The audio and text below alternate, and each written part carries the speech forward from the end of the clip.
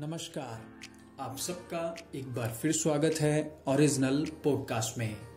हर बार की तरह इस बार भी हम आपके सामने हाजिर हैं एक बेहतरीन ऑडियो बुक समरी लेकर। आज की यह ऑडियो बुक समरी हमने ली है विलियम मैक्रावन की बुक मेक योर बैट से।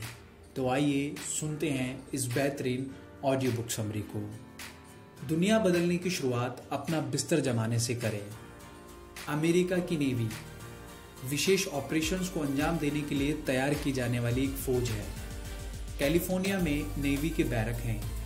ट्रेनिंग शुरू होने से पहले मुझे पता था कि यूनिफॉर्म चेक होगी, लंबी दूरी की दौड़ होगी और तैराकी और भी बहुत कुछ इस ट्रेनिंग का हिस्सा होने वाली थी।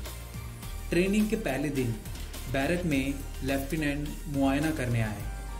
सलीके से इस्त्री हुई यूनिफॉर्म देखी, इसके बाद उन्होंने मेरे बिस्तर का निरीक्षण किया। उस बैरक में स्टील के फ्रेम वाले छोटे पलंग में एक गद्दा, दो चादर और एक तकिया था। गद्दे के ऊपर पहली चादर बिछी थी, उसके ऊपर दूसरी चादर और फिर रजाई।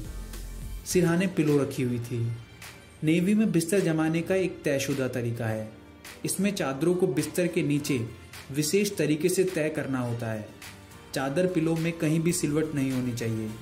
गड़बड़ी, यानी सजा। अपना बिस्तर उसी अंदाज में जमाना हमारे दिन का पहला टास्क होता था। एक छोटी सी आदत से अनुशासन झलकता है। यह बारीकी की ओर इशारा करता है।